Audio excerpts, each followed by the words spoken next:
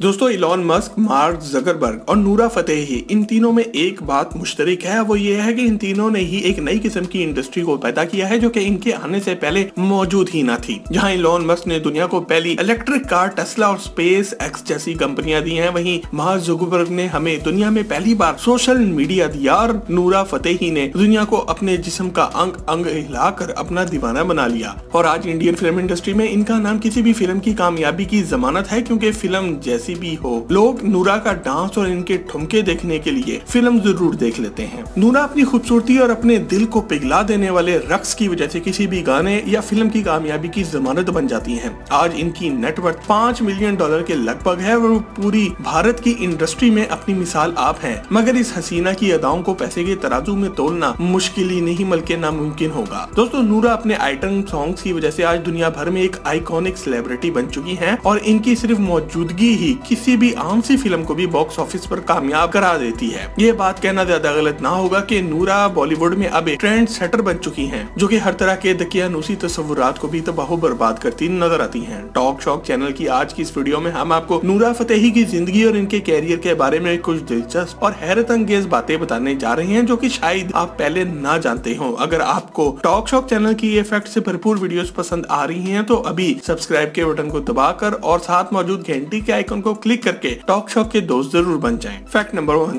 दोस्तों, नूरा फतेही 6 फरवरी उन्नीस सौ बानवे को कनाडा में पैदा हुई और इसके बाद उन्होंने अपनी ज़िंदगी का एक बड़ा हिस्सा कनाडा में ही गुजारा। इनका ताल्लुक मराकश के एक अरब खानदान से है। इनको बचपन से ही अदाकारा बनने का शौक भी था और वो हमेशा से ही फ़िल्मों की दीवानी रही हैं। इसलिए वो ये मानती हैं कि अच्छी अदाकारा को डांसिंग और एक्टिंग दोनों में ही महारत होनी चाहिए। फैक्ट नंबर टू दोस्तों, नूरा का खानदान कनाडा में रहने के बावजूद भी एक पुरानी सोच रखने वाला खानदान था और ये लोग अदाकारी और नाच गाने को बहुत ही बुरा समझते थे। और जब भी अदाकारी और मॉडलिंग और डांस के बारे में नूरा अपने ख्याल का इजहार करती तो इनके घर वाले इनको काफ़ी डांटते थे। और इनको भी एक टिपिकल मशरकी लड़की की तरह यही कहा जाता था कि, बेटा, ये काम अच्छे खानदान की लड़कियाँ नहीं करती। मगर नूरा फतेही का दिमाग अपने माँ बाप की बातों में आने वाला ना था और इनका खानदान एंटरटेनमेंट इंडस्ट्री के बारे में बहुत ही बुरे ख्याल रखता था। इसलिए नूरा ने अपने खानदान को अपने मुस्तकबिल के प्लान और अपनी सोच के बारे में बताना छोड़ दिया। फैक्ट नंबर थ्री दोस्तों नूरा फतेही हमेशा से ही एक प्रोफेशनल डांसर ना थी, बल्कि उन्होंने दूसरी डांसर्स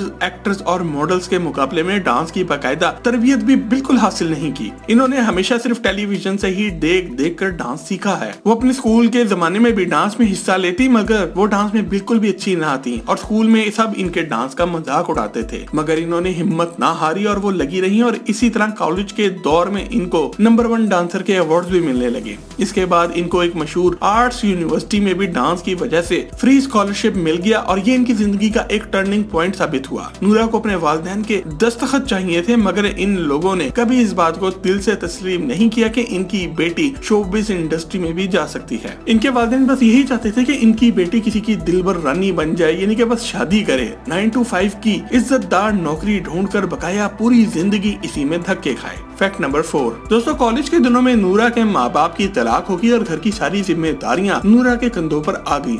अब इनको बहुत ज़्यादा मेहनत करना पड़ती थी और इन्होंने दिन के वक्त एक वेट्रेस की नौकरी कर ली और शाम को एक कॉल सेंटर में जॉब करने लगी। इन्होंने एक साल मुख्तलिफ़ नौकरियाँ की और साथ में मॉडलिंग की भी कोशिश जारी रखी। साल 2012 में वो भारत में भी मॉडलिंग करने लगी। दोस्तों, नूरा फतेही बताती है की भारतीय ऐसे लोग होते हैं की इनकी पहली मॉडलिंग जॉब की इनको कोई तनख्वाही ना मिली, बल्कि इनको ये कह के तनख्वाह दिया गया की, बीबी, जाओ जाके काम करो। तुम किस चीज़ के पैसे मांग रही हो तुम्हें तो सही से हिंदी भी बोलनी नहीं आती। वो बताती है की गैर मुल्की अफराद का इंडियन फ़िल्म इंडस्ट्री में बहुत फ़ायदा उठाया जाता है और क्यूँकी मॉडलिंग इंडस्ट्री वाले लोगों की इस कमज़ोरी का फ़ायदा उठाते हैं। इनकी एजेंसी ने इनको बीस लाख रूपए अदा करने थे, मगर इन्होंने एक आना भी ना दिया और इनका पासपोर्ट भी इनसे छीन लिया। वो ये भी बताती हैं कि इनको ये कहकर फ़िल्मों में रोल ना दिए जाते थे कि इनकी हिंदी ज़ुबान बहुत ही कमज़ोर है और लोग इनका मज़ाक उड़ाते थे। फैक्ट नंबर फाइव दोस्तों, नूरा को पहली बार भारत की फ़िल्म इंडस्ट्री में 2014 की एक film road tigers of the Sundarbans में एक रोल मिला। मगर ये फ़िल्म ज़्यादा ना चल सकी। नूरा ने जिन फ़िल्मों में अदाकारी के जौहर दिखाए हैं, इनके नाम है Bhoj the pride of India street dancer Batla house my birthday song और क्रेजी कुकड़ फैमिली है। जबकि जिन फ़िल्मों में इन्होंने बतौर आइटम गर्ल काम किया है, जिनके गाने आज पूरी दुनिया में हर नौजवान की दिल की धड़कन बन चुके हैं, उनमें शामिल हैं temper mister X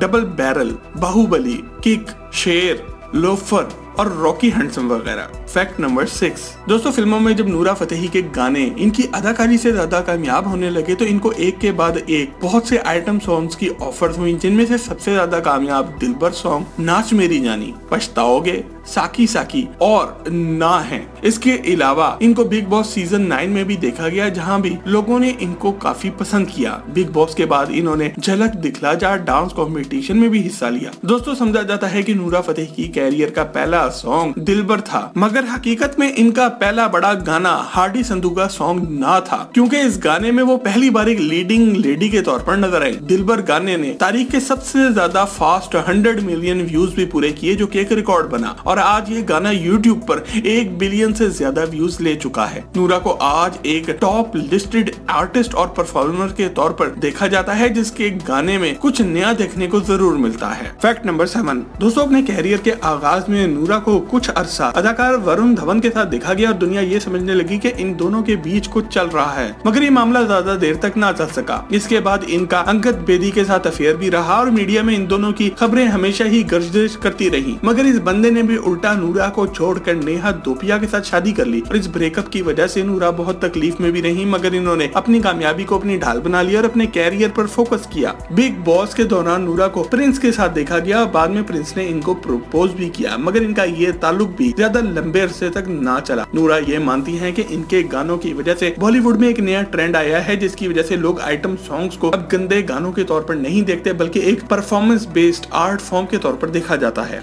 नूरा अपने हर नए गाने में एक नया स्टेप फॉर्म लेकर आती हैं, जिसको करना बहुत ही चैलेंजिंग होता है। वो बताती हैं कि फ़िल्मों में आपको टाइप कास्ट कर दिया जाता है, जिसके बाद आपको सिर्फ़ एक ही तरह का काम मिलता है। फैक्ट नंबर एट दोस्तों, नूरा फतेही की आज कुल नेटवर्थ पाँच मिलियन डॉलर के लगभग समझी जाती है, और वो हर गाने का पाकिस्तानी पचास लाख रुपया वसूल करती है और इनकी तकरीबन सारी कमाई ही बॉलीवुड के आइटम सॉन्ग से हुई है। इसके अलावा वो यूट्यूब एंडोर्समेंट डील्स और एडवर्टाइजमेंट से भी काफ़ी पैसा कमा लेती हैं। इनके बेस्ट फ्रेंड्स में वरुण धवन, श्रद्धा कपूर, दिशा पटनी और आलिया भट्ट शामिल हैं। और अगर नूरा के पसंदीदा अदाकारों की बात की जाए तो इनमें अक्षय कुमार, शाहरुख खान और श्रद्धा कपूर शामिल हैं। दोस्तों, नूरा आज दुनिया में अपनी खास अदाओं और स्टाइल की वजह से बहुत जानी जाती हैं। वो एक कामयाब डांसर और मार्शल आर्टिस्ट भी हैं। इन्होंने पेट हिलाने, यानी कि बैले डांस में तो पीएचडी कर रखी है। इनके इसी बैली डांस की वजह से ही दिलबर गाना इतना ज़्यादा हिट हुआ और इसको इतनी बार देखा गया। नूरा ने एक यूट्यूब वेब सीरीज़ भी लॉन्च की है, जिसका नाम है lady special type of single girls आज वो दुनिया में इस मुकाम तक पहुँच चुकी हैं कि वो English TV reality series top model India और M dating in the dark के जजेस के फ्राइज भी सरंजाम दे रही है। नूरा ने एक इंटरव्यू में ये भी बताया कि फ़िल्मों के बहुत से डायरेक्टर्स और प्रोड्यूसर्स ने इनको दूसरी किस्म की ऑफर्स भी दी, मगर इन्होंने हमेशा ही इन लोगों को रिजेक्ट किया है और एक प्रोफेशनल इंसान की तरह अपने काम को इज़्ज़त के साथ किया है। नूरा आज सिंगल तो ज़रूर है, मगर इन्हें इस बात का कोई भी गम नहीं है क्योंकि इनके मुताबिक वो एक कामयाब इंसान है और इसीलिए इनके रिलेशनशिप स्टेटस से इनको कोई फ़र्क नहीं पड़ता, क्योंकि अक्सर लोग इनकी पावरफुल पर्सनैलिटी को बर्दाश्त नहीं कर पाते और इसलिए वो अभी तक सिंगल पड़ी हैं क्योंकि अभी तक इनको इनका मिस्टर राइट नहीं मिला। दोस्तों नूरा फतेही की ज़िंदगी से हमें सीखने को मिलता है कि इंसान को हमेशा अपने ख्वाबों के पीछे ही जाना चाहिए और इनकी ताबीर को पूरा करने के लिए कोशिश भी पूरी करनी चाहिए। नूरा फतेही के पूरे खानदान ने तो क्या पूरी दुनिया ने इनको डांसर बनने से रोका, मगर इन्होंने अपनी मुसलसल मेहनत और लगन से सबको गलत साबित कर दिया और आज वो बॉलीवुड की बेहतरीन और सबसे महँगी डांसर हैं, जिनकी मौजूदगी की वजह से कोई भी सॉन्ग, मूवी